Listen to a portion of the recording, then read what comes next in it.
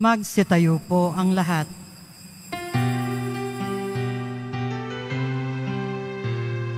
Viva poong Jesus Nazareno, awit at papuri alay namin sa iyo, tingin ng dalangin at pagsamo ng bayan mo. Viva poong Jesus Nazareno.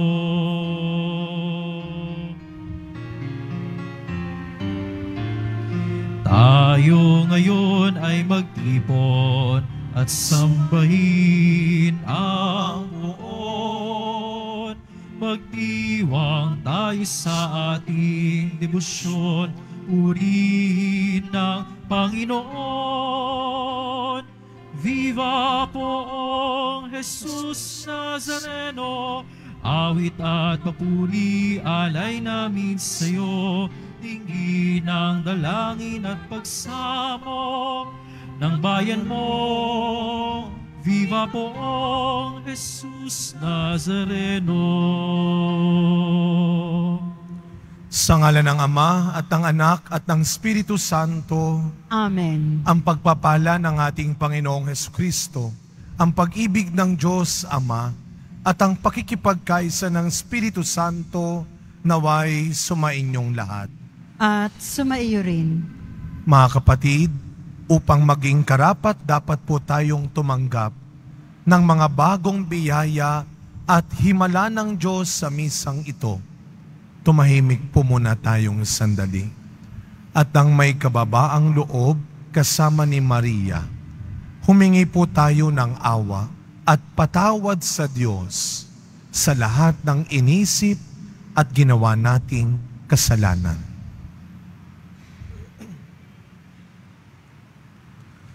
Sinugong tagapagpagaling sa mga nagsisisi, Panginoon, kaawaan mo kami.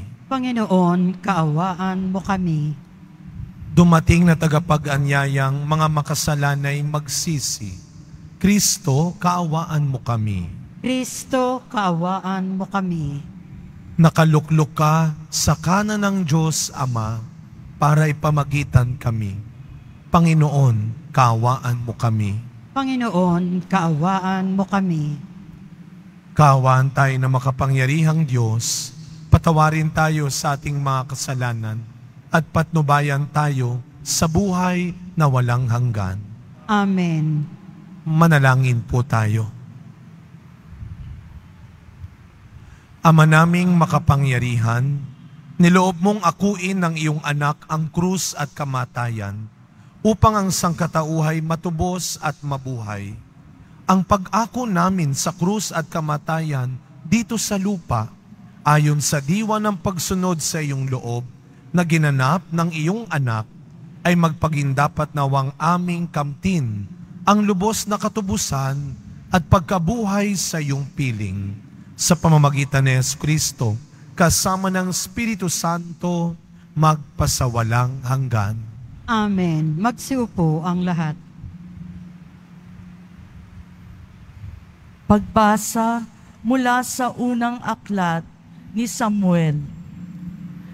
Noong mga araw na iyon, pumili si Saul ng tatlon libong Israelita at isinama sa paghahanap kay David sa bundok ng mailap na kambing. Nang matapat sila sa isang kulungan, ng tupa sa tabi ng daan, nanabi siya sa may bunganga ng kuweba sa tapat ng kulungan. Samantala, sina David ay nagtatago sa loob ng kuwebang iyon. Sinabi kay David ng kanyang mga tauhan, Ito na marahil ang katuparan ng salita ng Panginoon na ibibigay ko sa iyo ang iyong kaaway at maaari mong gawin sa kanya ang gusto mo. Palihim na lumapit si David at pinutol ang laylayan ng kasuotan ni Saul.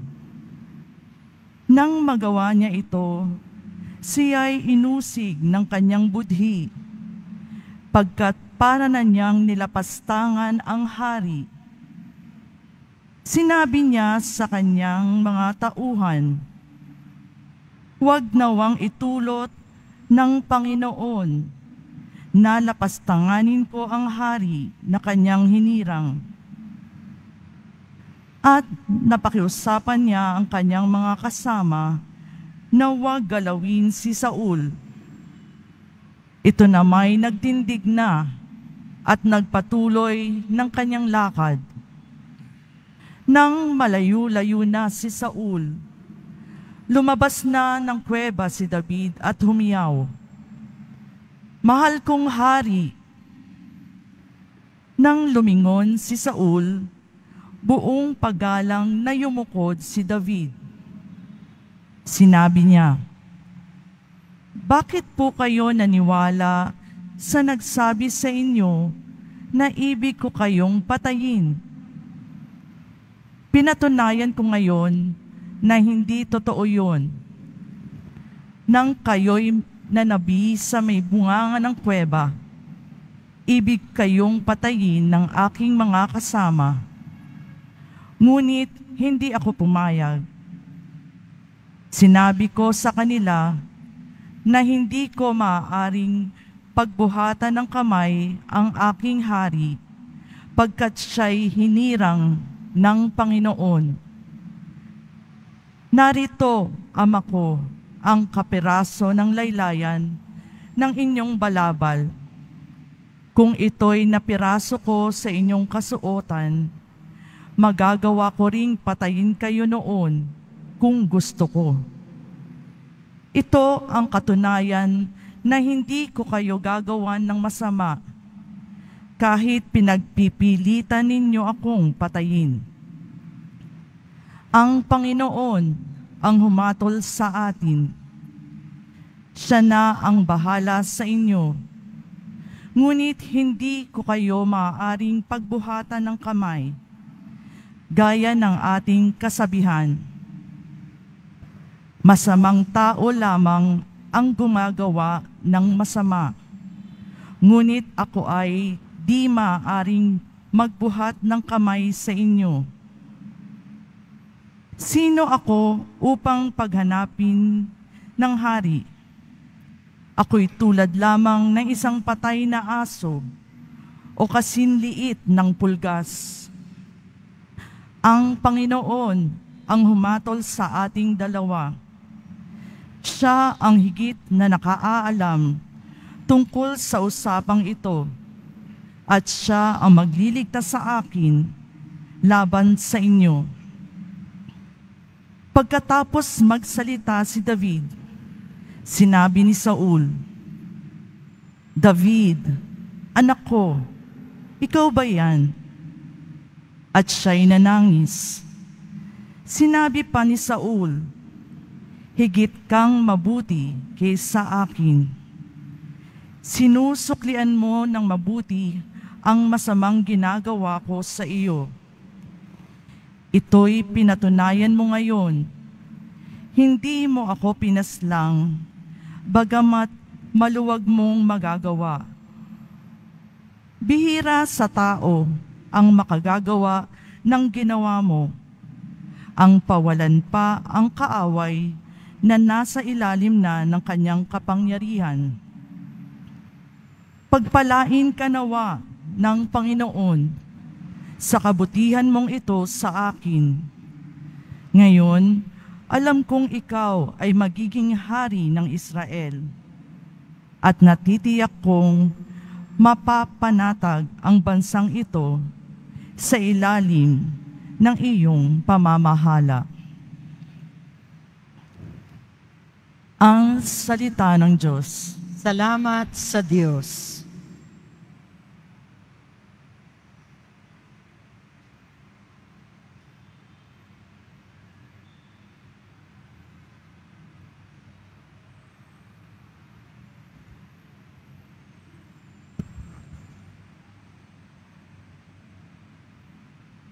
Poon kami kaawaan at lagi mong kahabagan. Poon kami kaawaan at lagi mong kahabagan. Mahabag ka, o aking Diyos, ikaw sana ay mahabag. Sa iyo lumalapit upang ako ay maligtas. Pagkat aking nasumbungan sa lilim ng iyong pakpak, ligtas ako sa panganib hanggang ito ay lumibas.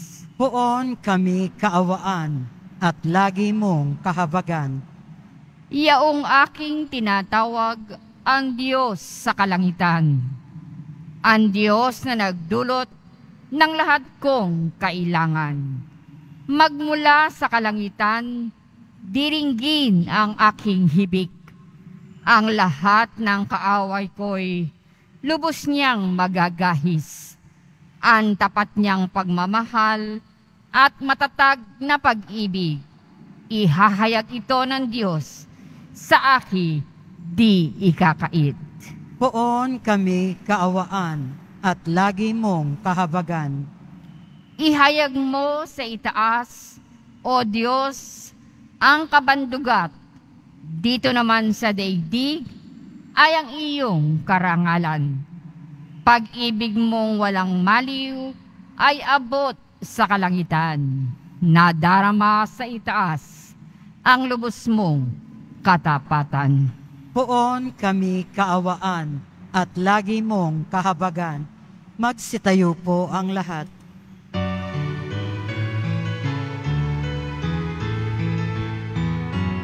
Alleluia,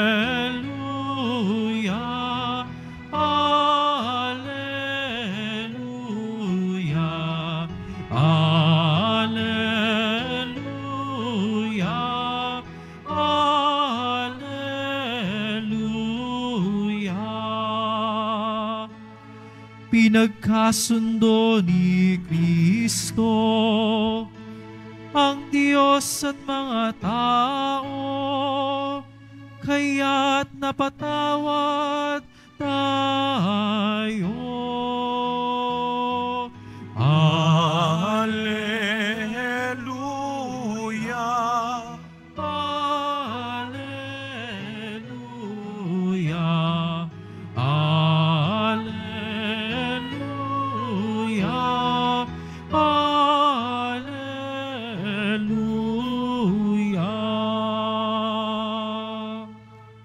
Sumainyo ang Panginoon.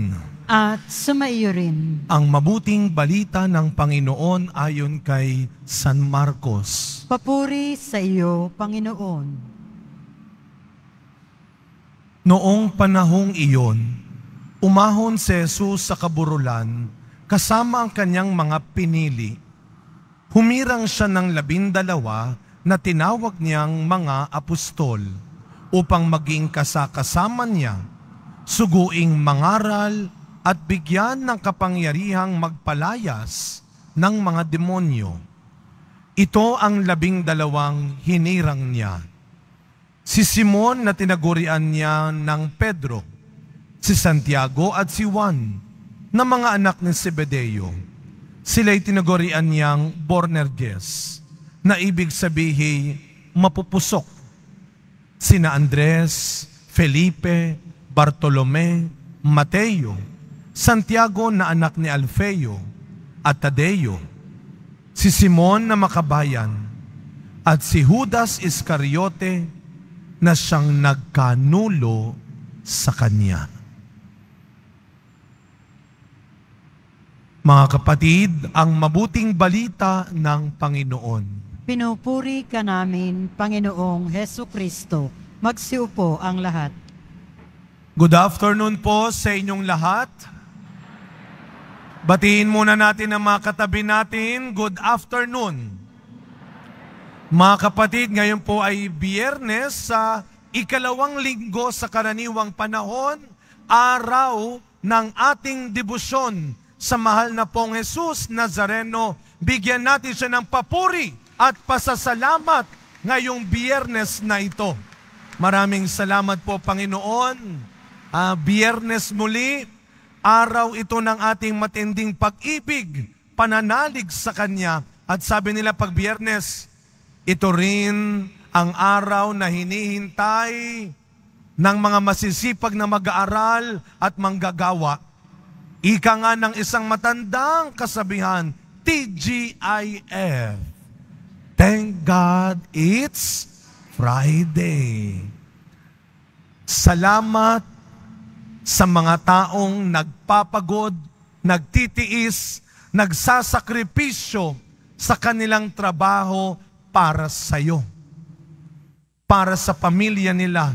At Lord, maraming salamat sa lakas, sa talento, sa kalusugan na meron pa rin ako para makapagtrabaho. Palakpakan muli natin ang ating Panginoon. Thank you, Lord. Nakakakilos pa kami, nakakapagtrabaho pa. No? Kaya nga ho, sinasabi ko ito sa mga estudyante ko dati. Tingnan ninyo yung mga senior na, matanda na, nagtatrabaho pa rin. Samantalang ikaw ang bata-bata mo pa. Kumpleto ka naman. Ang laki ng iyong katawan. Pwede ho ba mga kapatid? Ito ang ipaalala natin sa bawat isa Sabihin ninyo sa katabi ninyo ng malakas, huwag kang tamad. Ah, sabihin, baka sabihin, Father, hindi ko kilala to, baka magalit ito sa akin, Father. Mukhang kayo na pa masungit ito. No. Ulitin, sabihin sa katabi ng nakatingin, huwag kang tamad. Ah, siguro sa pool. Alam mo, Father, salamat ang tagal ko nang gustong sabihin sa kanya niyan. Buti na lang, tinulungan mo ko. Mga kapatid, bilang panimula po ng bagong taon, a 19 pa lang ho ng Enero, mainit-init pa ang 2024.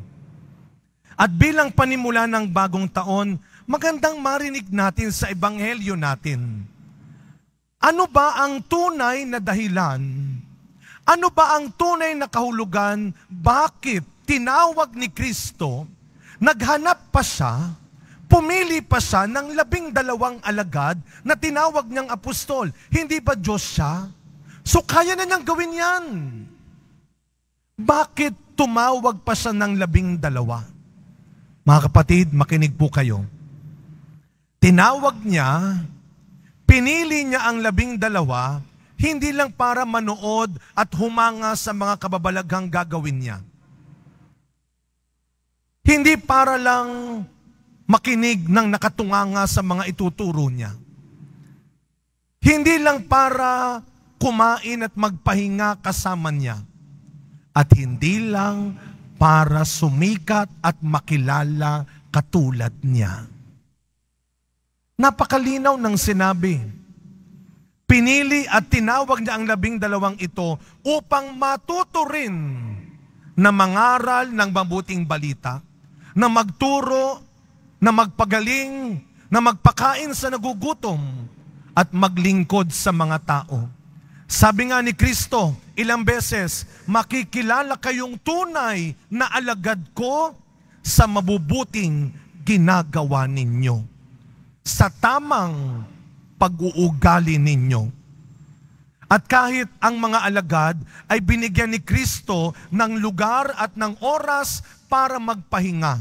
Naalala po ninyo, isang kwento, pagkatapos magpagaling, magturo ng mga alagad, umuwi sila at sabi nila, Panginoon, mission accomplished. Anong sabi ni Kristo? Maghanap kayo ngayon ng magandang lugar magpahinga kayo. Alam ng Diyos, napapagod ka rin. Huwag kang plastic. Huwag kang magpanggap. Alam ng Panginoon, napapagod ka rin. At ang gusto niya, huwag kang madamot sa sarili mo. Magpahinga ka rin. Pero kahit binigyan ni Kristo ng lugar at oras ang mga alagad na magpahinga, hindi niya hinayaang magsayang lang sila ng oras bilang na ang oras ng Panginoon. Sabi niya, hindi niyo ako laging kasama. Kaya hindi niya hinayaan na magsayang sila ng oras. sa lahat ng magagawa pa nilang mabuti at maganda upang magtrabaho sila sa kanyang ubasan, upang paglingkuran niya ang kanyang kawan. Kaya mga kapatid, araw-araw, bilang mga Kristiyano, bilang mga totoong deboto ng Pong Jesus Nazareno, labanan natin pare-pareho ang tukso ng matinding katamaran. Huwag kang maniwala sa kasabihang, di bali ng tamad, hindi naman pagod. Huwag kang makikinig doon. Nakakapagod din ang mangging tamad. Ito ang mas paniwalaan mo. Makinig po kayo. Walang masasayang na pagod sa taong masayang naglilingkod. Walang masasayang na pagod sa taong totoong naglilingkod. Alam mo yan. Hindi mo namamalayan, hindi ka pa kumakain, madumi ka na. Tingnan po ninyo yung mga artist, yung mga nagpe-painting, yung mga nag-uukit. Kapag masaya sila sa ginagawa nila, hindi nila namamalayan ng oras. Walang reklamo. Kapag kontento ka, kapag masaya ka, kapag tapat ka sa mabuting bagay na pinagpapaguran at pinaghihirapan mong gawin, hinding-hindi ka masisira, mapapatumba ng anuman o ng sinuman na hindi na nga naniniwala at sumusuporta, pilit ka pang kinukutya at sinisira. Sa puntong ito mga kapatid, tularan natin yung naging diskarte ni David sa ating unang pagbasa ngayon. Kung paano niya hinarap ang ginawa sa kanya ni Saul. Si Saul na nagselos, na insecure kay David. Nagalit. Kaya binalak niyang ipapatay si David. Ano ang ginawang diskarte ni David? paggawa sa misyong ibinigay sa kanya, katapatan lang sa pagtupad ng kanyang gawain, ng kanyang misyon, at tama at mabuting desisyon ang pinangtapat ni David sa kasamaan ni Saul. Focus.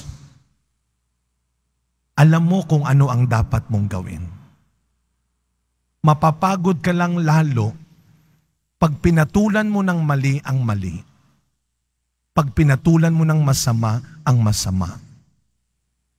Kahapon, Webes, kumbaga balik na kami sa regular programming ng ating feeding program, yung ating I-Thursday feeding program para sa mga kapatid nating nakatira sa kalsada. Nabawasan ho kami ng malaki kasi po nung December, umabot na tayo sa 500. Kanina o kahapon, 219. Aba, kalahati ang nawala. Tinanong ko, anong nangyari sa mga kasama ninyo? Alam nyo, pare-pareho sila ng sinigaw. Nahuli. Nahuli ho, Father. Well, siguro, respeto naman sa mga otoridad na gumagawa lang ng kanilang trabaho. Basta, Walang sakitan. Wala namang pisikalan. Naalala ko minsan, may nagkomento, Father, yung ginagawa ninyong pagpapakain, hindi kaya ginagawa nyo lang silang tamad at umaasa lang? Siguro sa ngayon, sana nga maaasahan pa rin nila ang simbahan.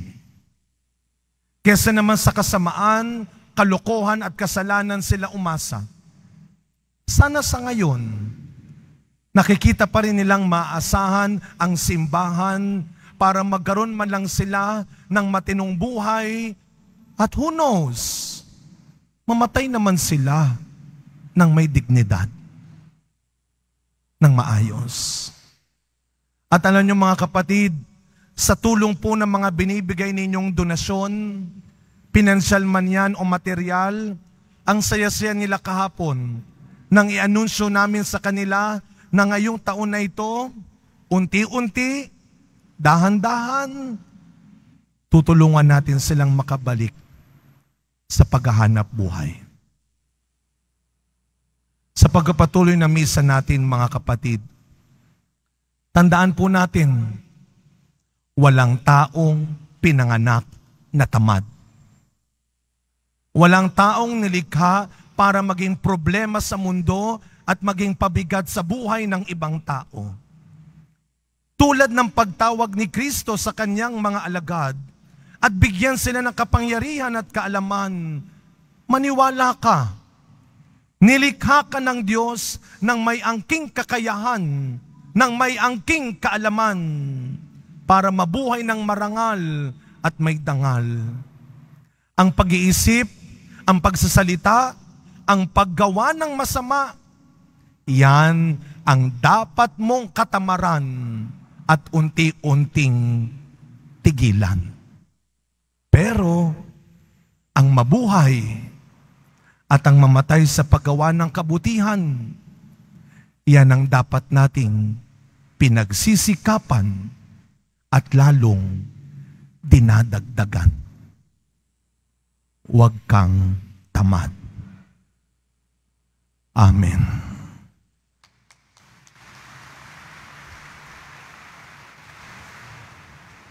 Magsitayo po ang lahat.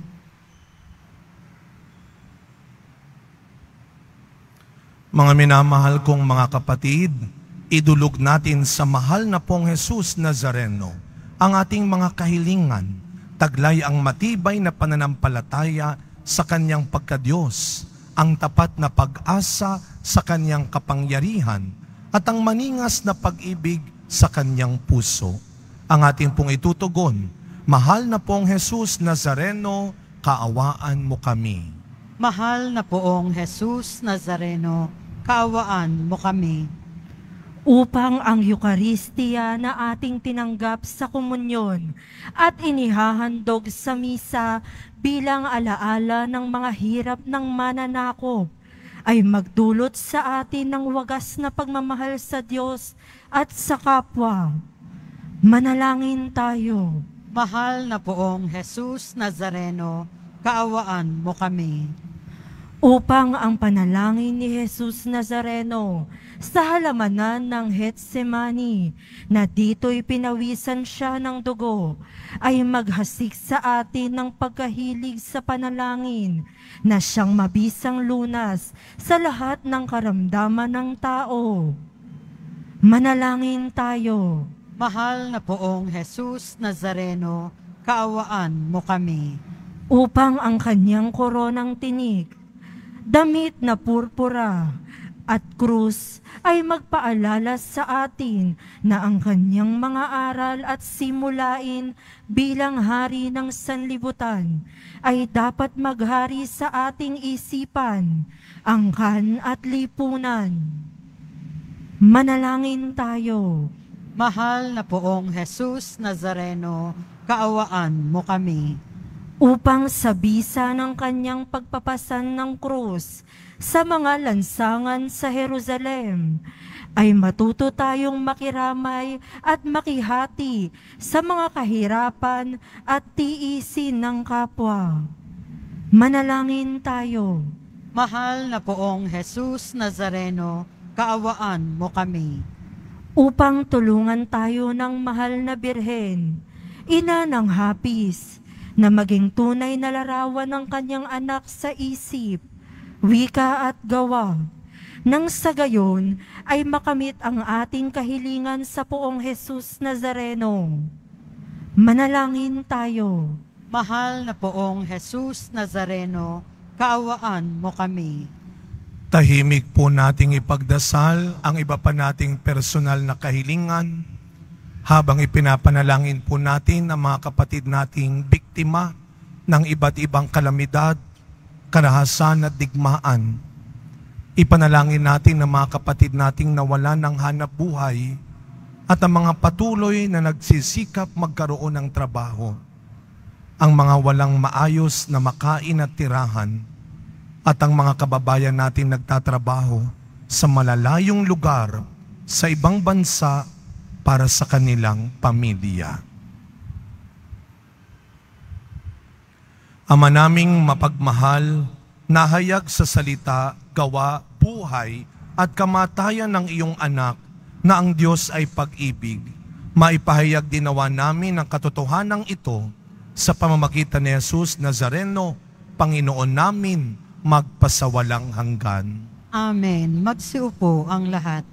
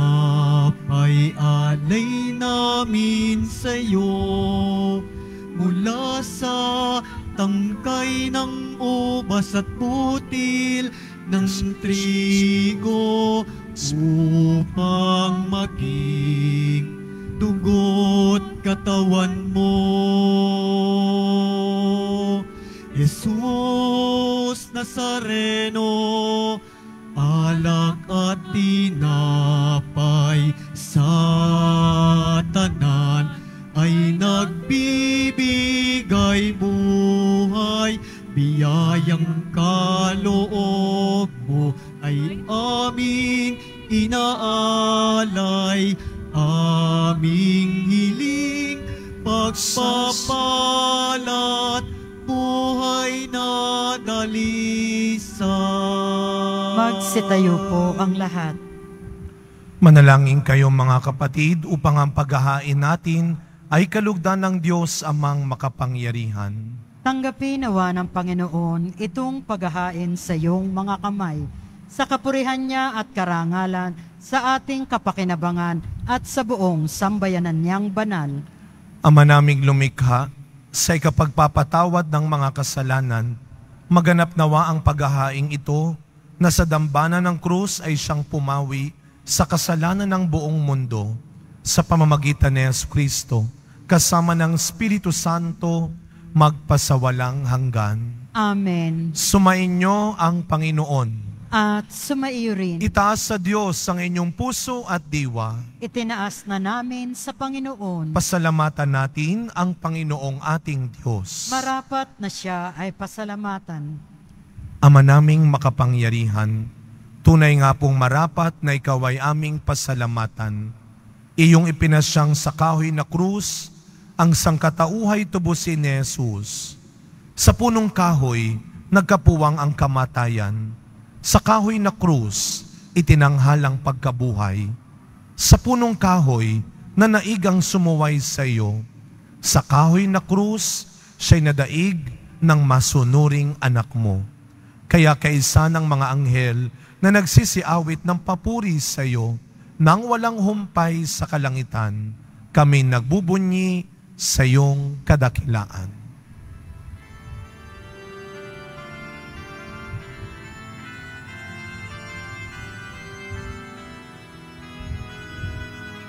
Santo, Santo, Santo, Panginoong Diyos ng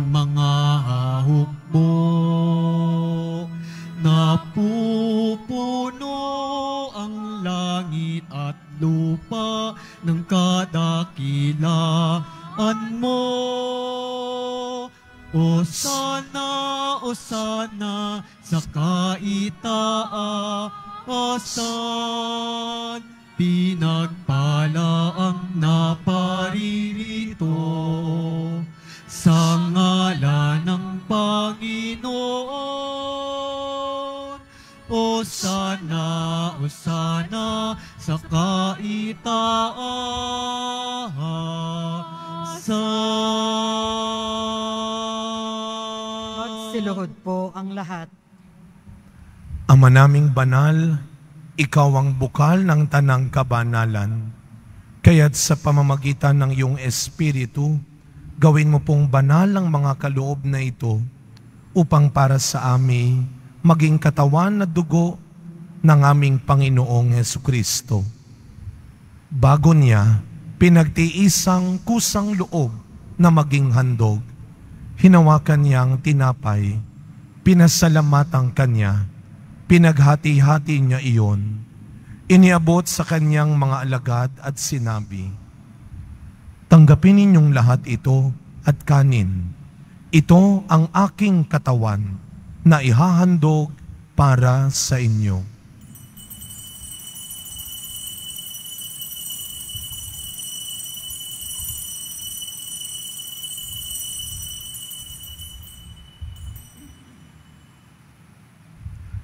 Gayun din naman nung matapos ang hapunan, hinawakan niya ang kalis, muli kanyang pinasalamatan. Iniabot niya ang kalis sa kanyang mga alagad at sinabi, Tanggapin ninyong lahat ito at inumin. Ito ang kalis ng aking dugo, ng bago at walang hanggang tipan. Ang aking dugo na ibubuhos para sa inyo at para sa lahat sa ikapagpapatawad ng mga kasalanan. Gawin ninyo ito sa pag-alala sa akin.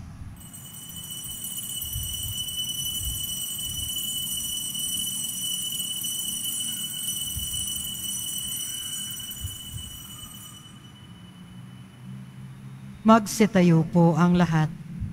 Ang misteryo ng pananampalataya.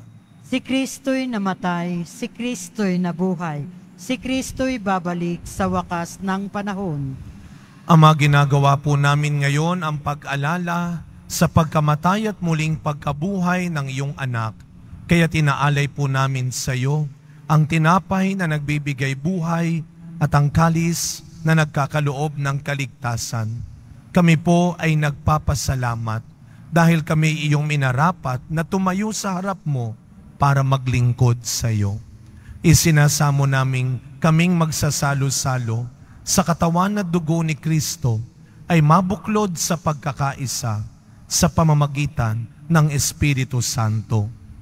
Ama, lingapin mo po ang iyong simbahang laganap sa buong daigdig. Puspusin mo po kami sa pag-ibig. Kay San ni Francisco na aming Santo Papa, ni Jose na aming Arsobispo, at ng Tanang Kaparian. Alalahanin mo rin po ang mga kapatid naming nahimlay nang may pag-asang sila'y muling mabubuhay, gayon din ang lahat ng mga pumanaw. Tahimik nating ipagdasal ang mga kaluluwa ng mga yumao nating mahal sa buhay. Kawaan mo po sila at patuloyin sa iyong kaliwanagan Kawaan mo at pagindapating kaming lahat na makasalo sa iyong buhay na walang wakas. Kaisa ng mahal na Birheng Maria na ina ng Diyos, ng kabiyak ng puso niyang si San Jose, kaysa ng mga apostol, San Juan Bautista, Padre Pio, Mother Teresa ng Calcutta, at ng lahat ng mga banal na namuhay dito sa daigdig ng kalugod-lugod sa iyo may pagdiwang nawa namin ang pagpupuri sa ikararangal mo sa pamamagitan ng iyong anak na aming Panginoong Heso Kristo. Sa pamamagitan ni Kristo, kasama niya at sa Kanya, ang lahat ng parangal at papuri ay sa iyo, Diyos samang makapangyarihan, kasama ng Espiritu Santo, magpasa walang hanggan.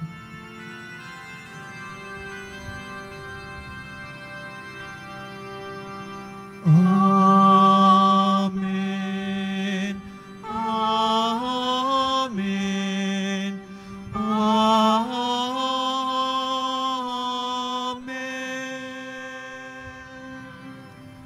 Bilang mga anak, ng ating mapagbigay na Ama sa langit. Buong tiwala nating awitin ang panalangin turo ni Kristo.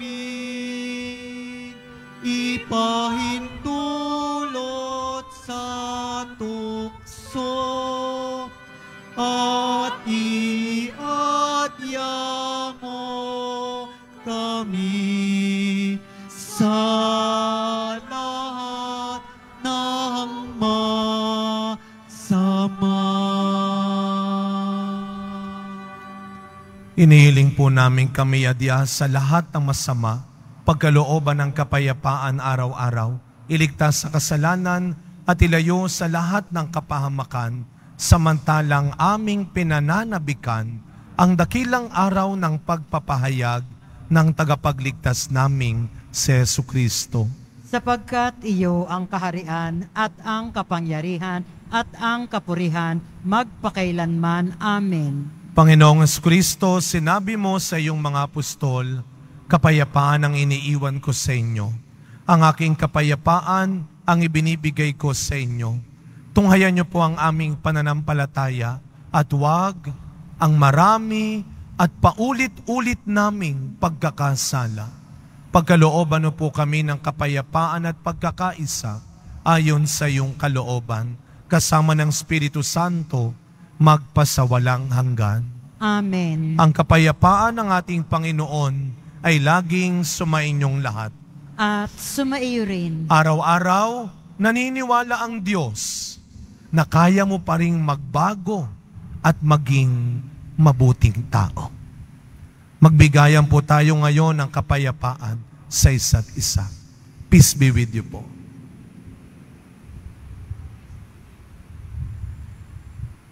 Kordero ng Diyos na nag-aalis ng mga kasalanan ng sanlibutan, maawa ka sa amin. Kordero ng Diyos na nag-aalis ng mga kasalanan ng sanlibutan, maawa ka sa amin. Kordero ng Diyos na nag-aalis ng mga kasalanan ng sanlibutan, ipagkaloob mo sa amin ang kapayapaan. Magsiluhod po ang lahat.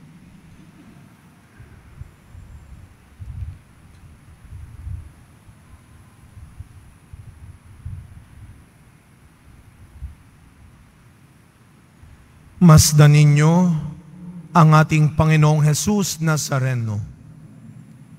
Siya ang iyong lakas at pag-asa. Ang kordero ng Diyos na nag-aalis ng mga kasalanan ng sandibutan, mapapalad po tayong lahat na inaanyayahan sa kanyang piging. Panginoon, hindi ako karapat-dapat na magpatuloy sa iyo, Ngunit sa isang salita mo lamang ay gagaling na ako.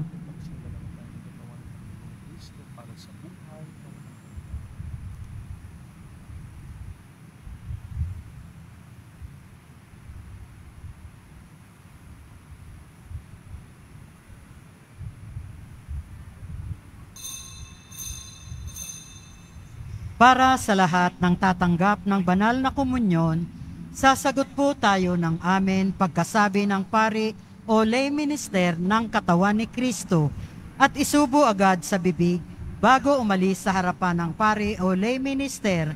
Sumunod po tayo. Maraming salamat po.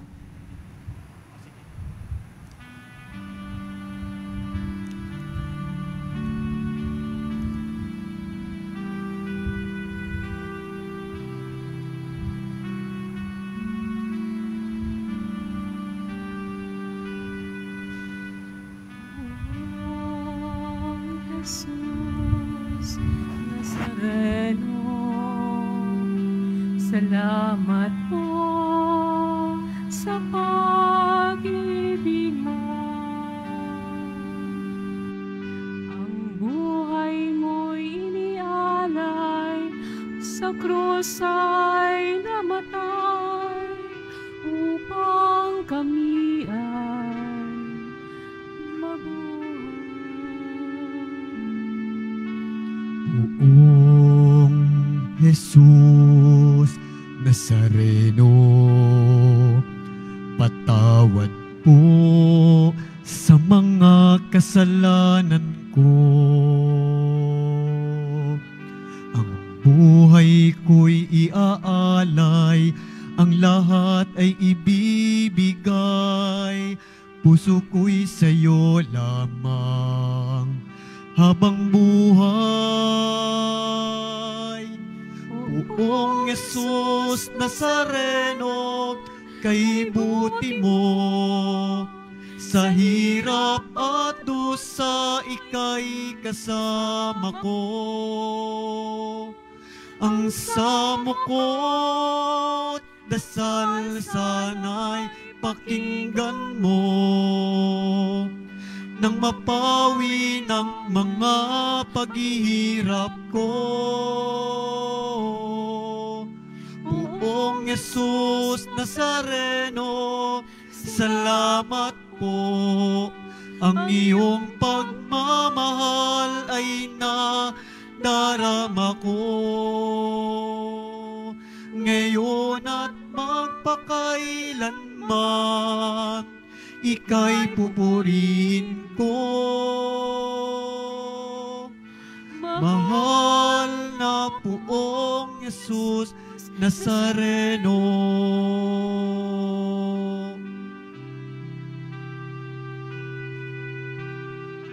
Oh, Jesus Nazareno, kalugdan po ninyo itong kailingan ko. Mabuhay ng mapayapa, iligtas sa lahat ng masama, kawaan niyo po kami umaasa. Buong Jesus Nazareno Patnubayan niyo po nawat gabayan ako Iligtas sa kapahamakan at tiyak na kamatayan Huwag po ninyo kaming pababayaan. Buong Yesus Nazareno, kay buti mo. Sa hirap at dusa, ika'y kasama ko. Ang samo ko't dasal sana'y pakinggan mo nang mapawi ng mga paghihirap ko. Buong Yesus Nazareno, salamat po. Ang iyong pagmamahal ay nadarama ko. Ngayon at magpakailanman, ika'y pupurihin ko. Mahal na poong Jesus Nazareno.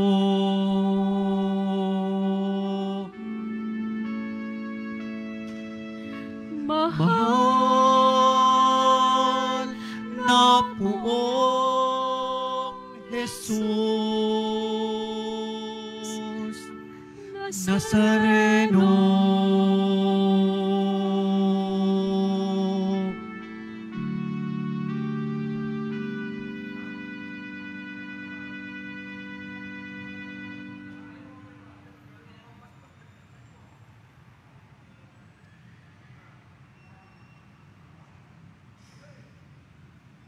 Announcement.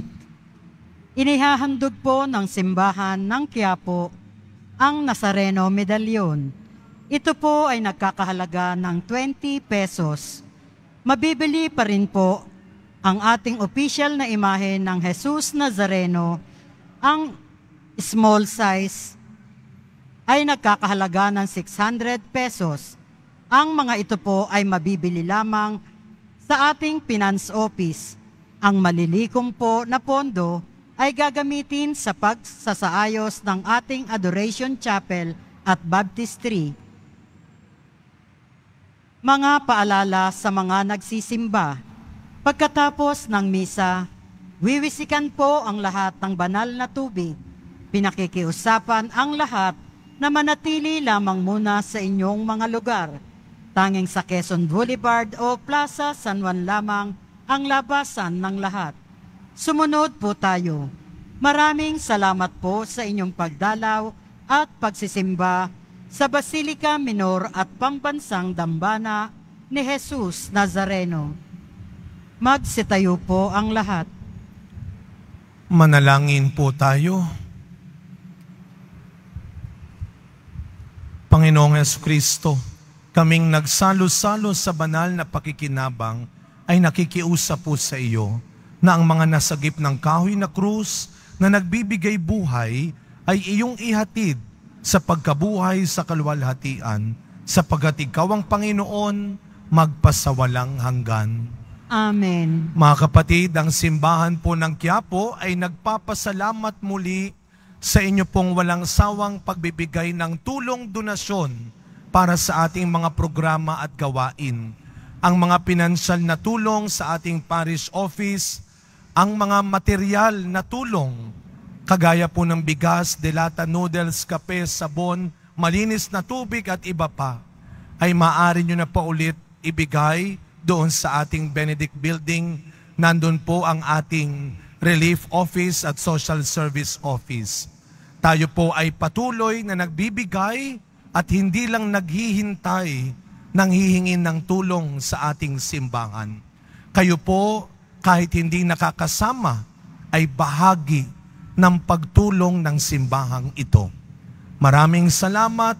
Ang Diyos na po ang magbigay ng sapat at dapat na gantimpala sa inyong kabutihan. Sumayin niyo ang Panginoon. At sumaiyo rin. Yumuko po kayo habang ginagawad ang pagbabasbas. Mahal na pong Jesus Nazareno, inihayag mo sa pamamagitan ng krus ang walang maliw na pag-ibig ng Diyos sa sangkatauhan. Pakinggan mo po ang kahilingan ng iyong angkan na nagsusumamos sa iyo. Makamtam nawa nila ang iyong katugunan at tanggapin ang kasagutan na may utang na loob na tinatanaw. Basbasan din po ninyo ang mga daladala nilang imahen at dasalan sa pamamagitan ng bendisyon na ito, naway maalaala nila ang mga pangako nila noon sa binyag na ikaw ay kanilang iibigin at paglilingkuran bilang Panginoon magpasawalang hanggan. Amen. Naway pagpalain at ingatan ang inyong pamilya ng ating mapagbigay na Diyos, Ama, Anak, at Espiritu Santo.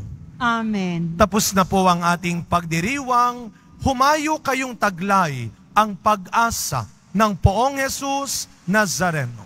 Salamat sa Diyos.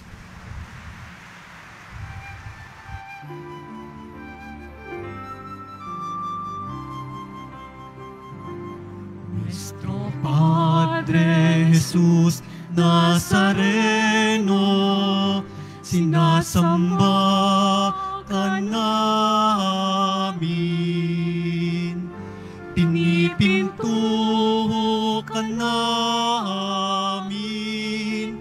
aral mong aming buhay at kaligtasan.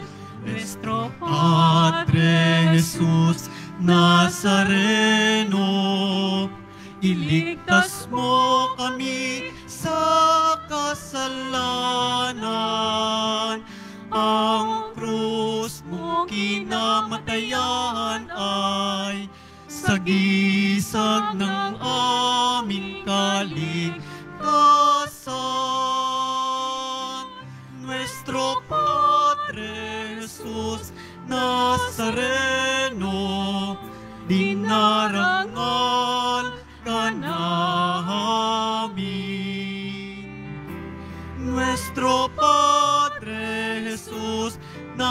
Nazareno, nilulwalhati ka namin. Nuestro Padre Jesus Nazareno,